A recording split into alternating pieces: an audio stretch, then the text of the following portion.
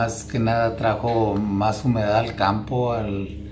suelo, la saturación del suelo, esto favorece pues a la vegetación, a, los ganaderos sobre todo que,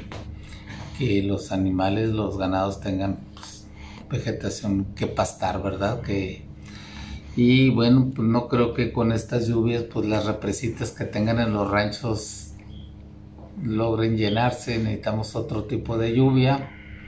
este, vamos a ver cómo, cómo se presentan. Con relación a la estadística anual, pues andamos en, en condiciones normales de lluvia, vamos a decir, este,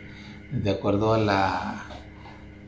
a lo que ha llovido durante el año la acumulada y, y, a lo que debe de estar andamos en, en, ese, en el rango normal.